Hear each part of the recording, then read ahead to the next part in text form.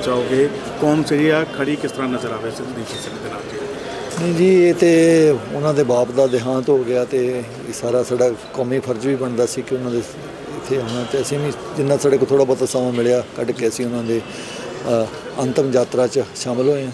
ਲੇਕਿਨ ਬਾਪੂ ਜੀ ਲੱਗਦਾ ਕਿ ਪ੍ਰਸ਼ਾਸਕ ਨੇ ਅਧਿਕਾਰੀਆਂ ਨੇ ਠੀਕ ਕੰਮ ਕੀਤਾ ਕਿਉਂਕਿ ਅੰਤਿਮ ਸਮੇਂ ਸੀਗਾ ਸੰਦੀਪ ਨੂੰ ਬਾਹਰ ਲਿਆਂਦਾ ਗਿਆ। ਲੱਗਦਾ ਕਿ ਕਿਤੇ ਨਾ ਕਿਤੇ ਪ੍ਰਸ਼ਾਸਨ ਅਧਿਕਾਰੀ ਜਾਗੇ ਨੇ ਕਿਤੇ ਨਾ ਕਿਤੇ? ਨਹੀਂ, ਮੇਰੇ ਖਿਆਲ ਤੇ ਬਹੁਤ ਵਧੀਆ ਗੱਲ ਹੈ ਜੀ। ਉਹਨਾਂ ਨੂੰ ਅੰਤਮ ਰਸਮਾਂ 'ਚ ਸ਼ਾਮਲ ਹੋਣ ਵਾਸਤੇ ਮੌਕਾ ਦਿੱਤਾ ਗਿਆ ਤੇ ਚਲੋ ਦਿੱਤਾ ਜਾਣਾ ਵੀ ਚਾਹੀਦਾ ਸੀ ਤੇ ਬਹੁਤ ਵਧੀਆ ਪ੍ਰਸ਼ਾਸਨ ਦੇ ਵੀ ਚਲੋ ਧੰਨਵਾਦੀ ਹੋਣਾ ਬਣਦਾ ਇਸ ਗੱਲ ਨੂੰ।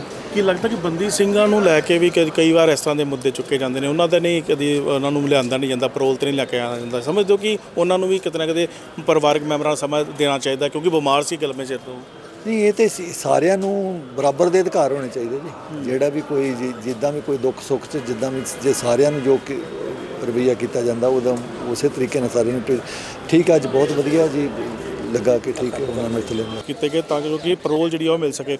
ਸੰਧੂ ਸਾਹਿਬ ਸਾਨੂੰ ਮੌਜੂਦ ਹੈ। ਸੰਧੂ ਸਾਹਿਬ ਵਾਹਿਗੁਰੂ ਜੀ ਕਾ ਖਾਲਸਾ ਵਾਹਿਗੁਰੂ ਖਾਲਸਾ ਵਾਹਿਗੁਰੂ ਜੀ ਕੀ ਫਤਿਹ ਜੀ। ਸੰਧੂ ਸਾਹਿਬ ਪਹਿਲੇ ਦਿਨ ਤੋਂ ਬੜੀ ਪੇਨ ਲੈ ਰਹੇ ਸੀ ਕਿ ਤੁਸੀਂ ਸਾਨੂੰ ਡੀਸੀ ਦਫ਼ਤਰ ਵੀ ਵੇਖਿਆ ਤੁਸੀਂ ਪਰੋਲ ਤੱਕ ਲਿਆਉਣ ਦੀ ਕੋਸ਼ਿਸ਼ ਕੀਤੀ ਸਨੀ ਨੂੰ। ਕੀ ਕਹਿਣਾ ਚਾਹੋਗੇ? ਪ੍ਰਸ਼ਾਸਨ ਨੇ ਕਿੰਨਾ ਕੁ ਸਾਥ ਦਿੱਤਾ?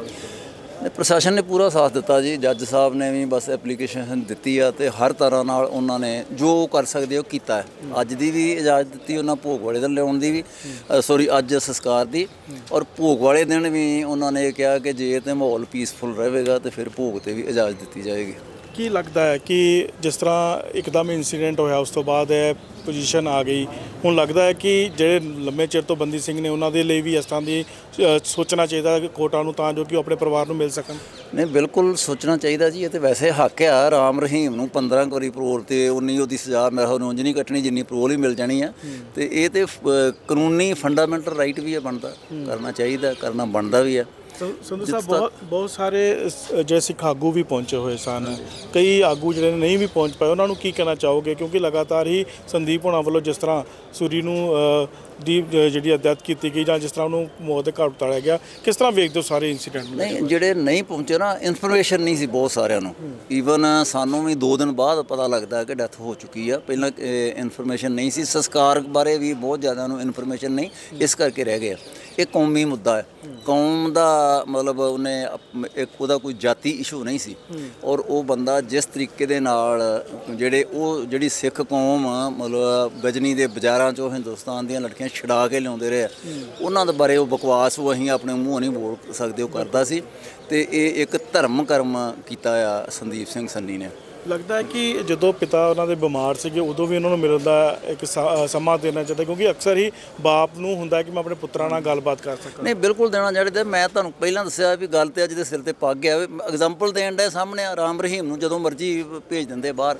ਤੇ ਗੱਲ ਤੇ ਆ ਵੀ ਸਿਰ ਤੇ ਪੱਗ ਗਿਆ ਤੇ ਫਿਰ ਨਹੀਂ। ਸਾਡੇ ਲਈ ਕਾਨੂੰਨ ਵੱਖਰਾ ਹੈ।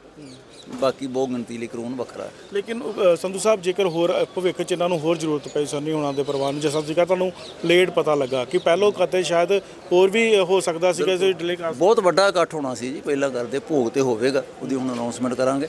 ਐਕਚੁਅਲੀ ਸੰਸਕਾਰ ਬਾਰੇ ਪਤਾ ਹੀ ਕਿਸੇ ਨੂੰ ਨਹੀਂ ਸੀ। ਮੈਂ ਤੇ ਵਿੱਚ ਇਨਵੋਲਡ ਸਾਂ ਨਾ ਆਰਡਰ ਕਰਾਏ ਉਦੋਂ ਅਦਾਲਤ ਤੋਂ ਪਹਿਲਾਂ ਡੀਸੀ ਤਾਂ ਮੈਂ ਵੇਖਿਆ ਸੀਗਾ ਤੁਸੀਂ ਹਾਂਜੀ ਹਾਂਜੀ ਹਾਂਜੀ। ਤੇ ਬਾਕੀ ਮੇਰਾ ਖਿਆਲ ਭੋਗ ਤੇ ਸ਼ਮੂਲੀਅਤ ਕਰਨਗੇ ਸਾਰੇ। ਇਹ ਮਤਲਬ ਇਹ ਇਸ ਸੰਦੀਪ ਸਿੰਘ ਸੰਨੀ ਦੇ ਮੁੱਦੇ ਤੇ ਕੋਈ ਪਾਰਟੀਬਾਜੀ ਨਹੀਂ ਹੈ।